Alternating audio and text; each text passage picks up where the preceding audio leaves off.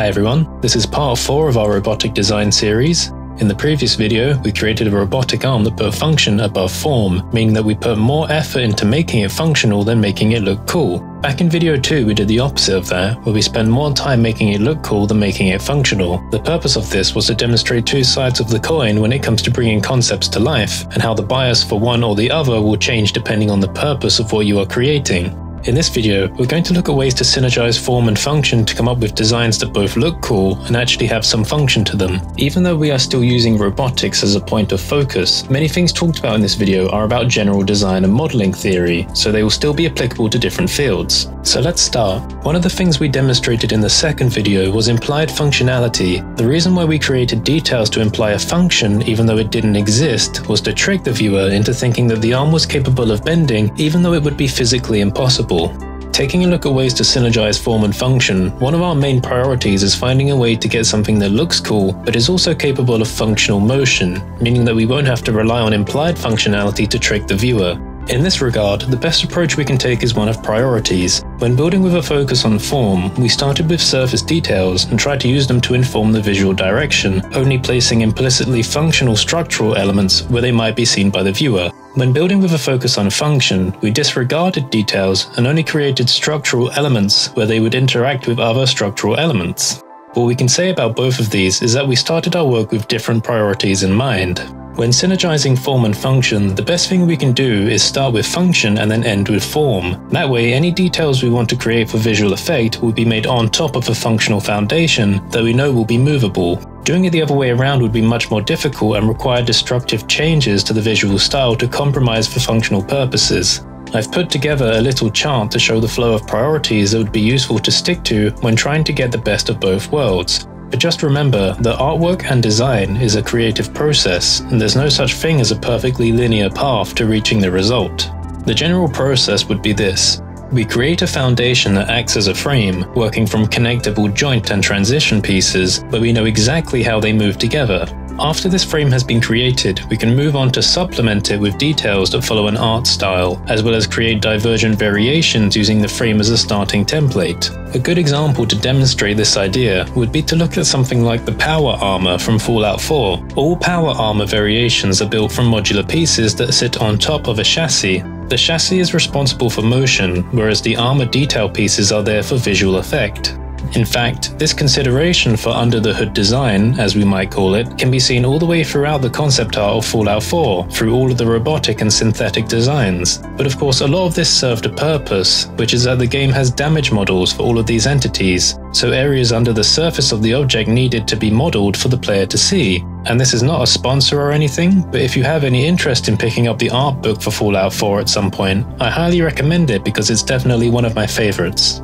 But taking another look at the workflow, this is where subjectivity and purpose comes into play. The overriding caveat to our idea of synergizing form and function is that the two are not always mutually exclusive, and the balance of either will be shifted depending on the end goal, as well as what creative liberties an artist or designer is allowed or instructed to take. With that in mind, let's look into these in more detail. Under function, the terms are pretty self-explanatory. Connectivity refers to joints and transition refers to pieces that build the frame in between the joints. Imagine that a robotic form is usually just a series of joints that connect to other joints in different ways. For form, I've got four points of thought that are a little more interesting. Firstly, we have complementary. Complementary details are those that accentuate the functionality or foundation in some way. We could say that any stylization applied to joints and transition pieces can be considered complementary details because they accentuate the functionality.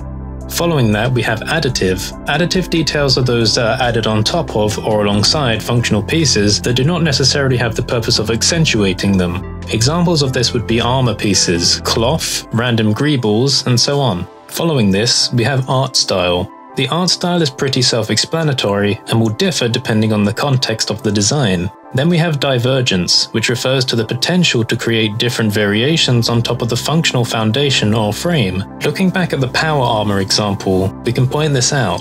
Large segments of the chassis are functional pieces such as joints and the frames that connect to the joints. If we look at these framing pieces, we notice the creative use of empty space and extrusions that don't necessarily serve a purpose, but they look cool and accentuate the functional pieces. Therefore, I would consider them complementary details. If we pan over though, these layers of armor that sit on top of the chassis are interchangeable and primarily exist to serve an artistic style. I would consider these additive details. We can also notice that on the chassis there are wires and piping connecting the torso to the lower sections. We don't necessarily know what function they serve, but a function is implied nonetheless, and it does well to contribute to the cool factor. So not everything needs to be categorized. When you're synergizing form and function in ways like this, the lines become blurry, and that's not a bad thing. On the contrary, creativity does well in fuzzy scenarios. Rules are meant to be broken and so on. I'm never sitting down and categorizing the objects I make when modeling, but the reason I'm teaching it this way way is so that the concepts can serve as a guide in times when you may not know how to tackle a type of multi-layered design. One commonality in this is that I've been putting an emphasis on modeling from the inside out, which is useful for mechanical systems, but again that depends on the requirements of the design and the artist's approach to the task. For things like spaceships, it would be more functionally useful to build the internals and then build a shell around them. But then once you are done, you might not like the way that it looks on the outside. So thinking about it this way, you have two options. You can build the hull around the internals, or you can build the hull to start with and then try to squeeze the internals in there later. It's not all that different to robotics, except in a gameplay environment, a spaceship may be an explorable environment, whereas I don't think I've played in any game environments as of yet that require exploring the inside of an android. I would say that sometimes for people that are new to modeling, working from the inside out and progressively adding layers is easier because it's more informative and helps you to better visualize an end result. This is where kit bashing can show you the way. It saves you time on modeling individual joints and transitions multiple times and means you can get a frame up and running in a fraction of the time. You will likely then feel a lot more confident about the direction than if you were free-form modeling with no direction to start with. Speaking of kit bashing, if you pick up the resources for this series on my ArtStation store page, you will notice that it comes with a collection of template pieces for informative kit bashing. This includes a few objects under a category I've called hooked curves, which are basically curves with the end handles hooked to hard surface ports on the ends, which you can copy to your projects and then use them to rapidly place things like cabling and wiring. So to round this off, let's take a look at some examples of interesting robotic concepts and designs.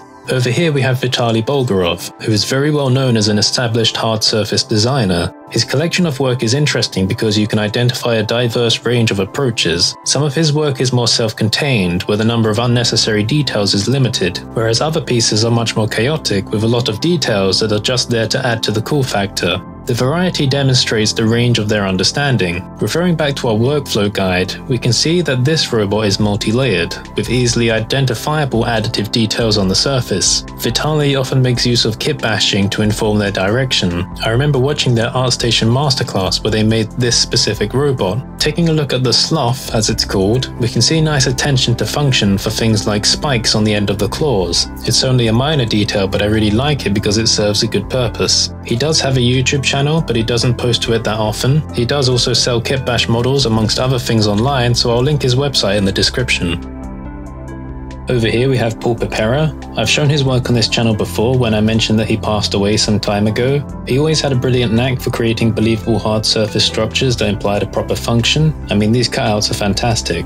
There's a lot of finer details, but also a good balance of shaping. In fact, we can see that he had a bit of a thing for robot arms too, definitely taking inspiration from the Canadarm that usually accompanies the now decommissioned space shuttle. So wrapping this whole series up, I hope you've learned something. I've tried to make it so that there's something that people of any skill level can take away with them, which is why there's been a mix of theory and practical modeling. In the first video, we talked about a range of concepts relating to robotic design, such as form versus function, implied functionality, evolutionary inspiration, and more. In videos 2 and 3, we demonstrated the difference of prioritizing form and function separately and how that will change the way we approach things. And in this video, we discussed ways to approach synergizing form and function by looking at a guideline workflow. If there's one thing I want you to take away from all this, it's that artwork, concepting and design will always be highly subjective, so take everything with a pinch of salt, go out into the digital world and make something your own. Remember, you can pick up all the resources from this series on my ArtStation store page, which includes all of the model and blend files.